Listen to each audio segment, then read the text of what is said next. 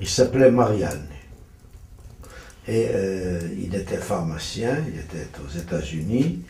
Il a extrait euh, la saveur de, la feuille de cola et il a fait la première boisson au cola, qui n'était pas le Coca-Cola, qui était le cola.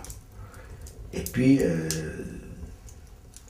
ça n'a pas marché et il a vendu son brevet à une société américaine qui a mis de l'alcool dans le, dans jus de, cola et qui a inventé le Coca-Cola et qui a le succès que l'on sait. Lui s'appelait Marianne. C'est un Corse génial oublié.